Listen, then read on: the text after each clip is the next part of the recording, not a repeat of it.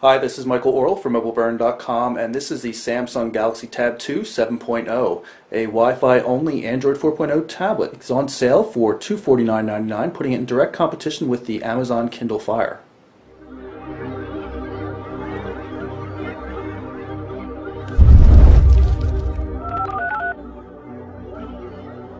Okay, so here's the Galaxy Tab 2 7.0 in its box. Let's just open it up, pull everything out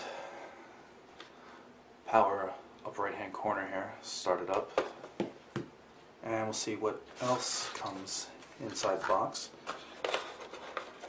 The uh, Samsung charger with the US adapter just clicks in there. Obviously we're going to find a USB cable somewhere. Uh, terms and conditions, user guide, and here's the USB cable with the proprietary connector. And that's uh, all that's been included. So let's take a look at the hardware. Up front and center we have the 7-inch display, 1024 by 600 pixels. You can see the design supported by the Tab 2 7.0 um, similar to the new 10.1 we saw released in Europe. Um, courtroom friendly, so it doesn't uh, look exactly like an Apple iPad. Uh, Forward-facing VGA resolution camera. Flip the device on its side, and you can see we've got a power button here, Volume control and the IR blaster port can be used with uh, included software to control your TV, home audio, entertainment system, all that kind of good stuff.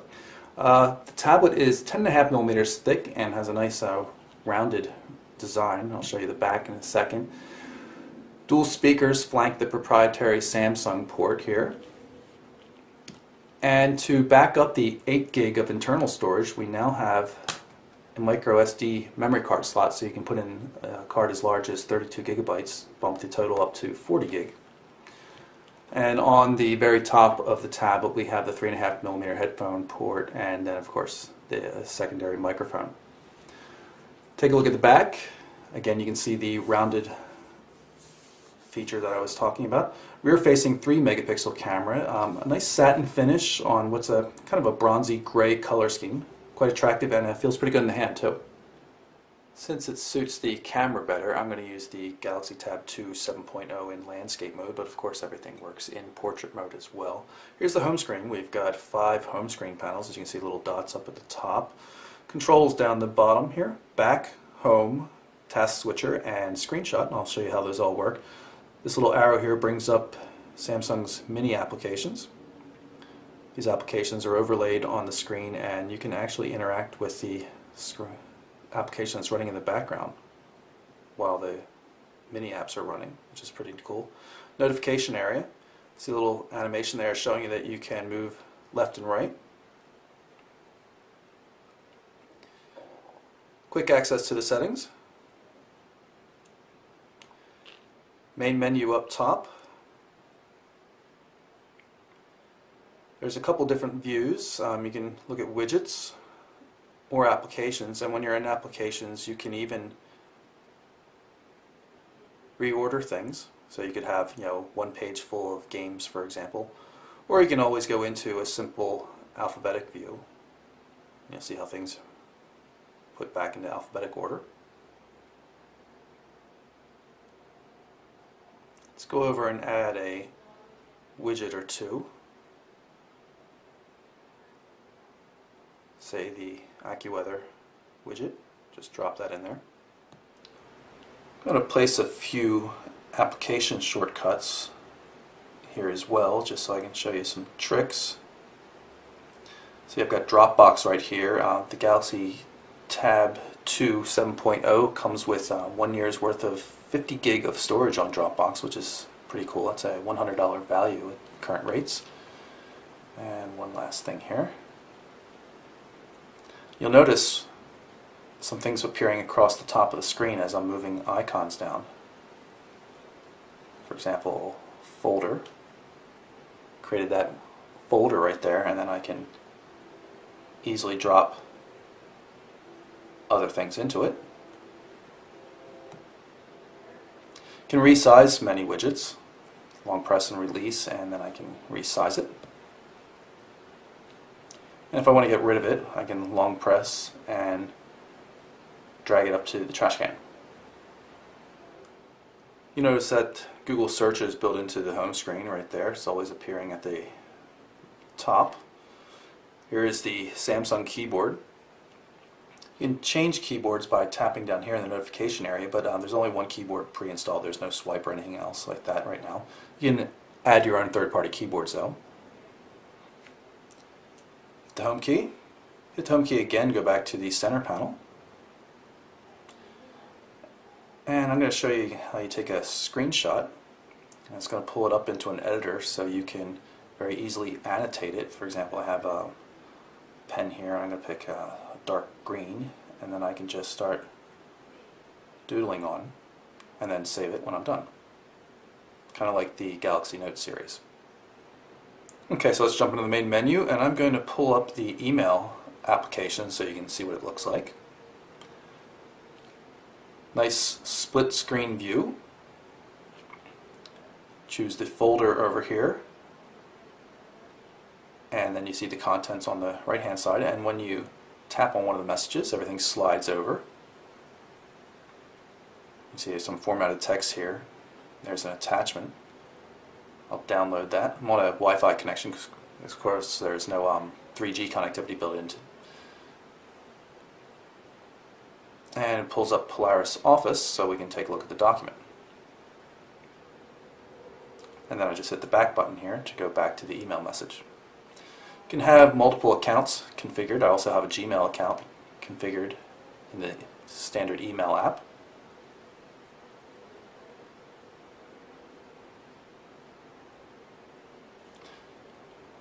But naturally there is also a dedicated Gmail application which supports full functionality of Gmail including priority inbox.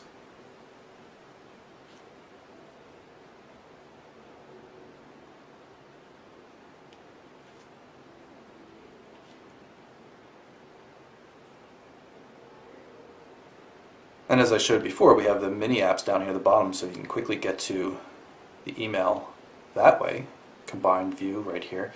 Tap on the arrow to go to the full application. And again, the combined view here. Jump back and if I were to do the same thing with the calendar, then easily get into the calendar as well if I didn't want to go through the main menu. A bunch of different views here. You can have a overall look at the year, month, week, day, and then of course the agenda view. Let's take a look at the web browser tabbed interface so it's easy to manage multiple web pages.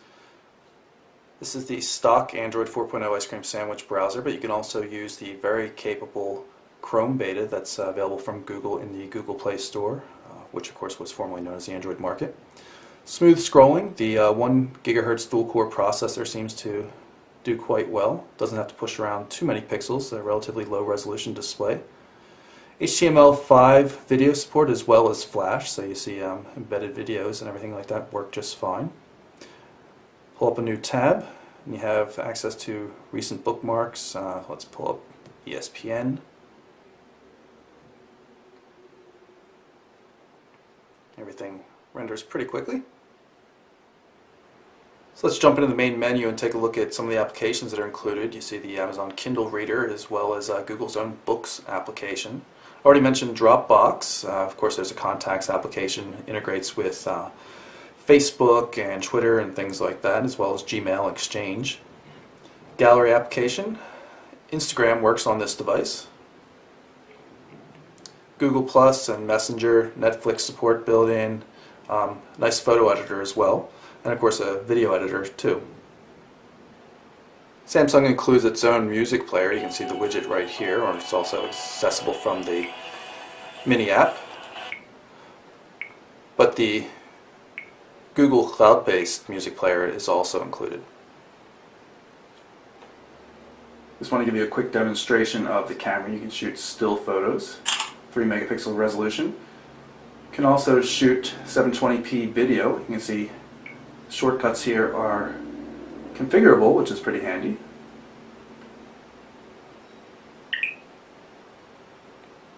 And just record a quick video here.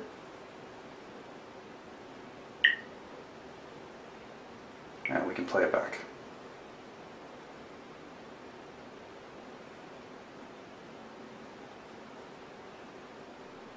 And just because the devices are targeting the same demographic, here's the Samsung right next to the Amazon Kindle Fire. The Samsung's a little bit thinner and definitely has a uh, smoother type design. But in terms of total size and weight, they're pretty close to each other. So that's a quick look at the Samsung Galaxy Tab 2 7.0, a very affordable Android 4.0 ice cream sandwich tablet. It's on sale for $249.99, which is a pretty aggressive price point considering it has uh, dual cameras, micro SD expansion, dual core processor. It's actually quite nice. So for mobileburn.com, I'm Michael Oryl. Thanks for watching.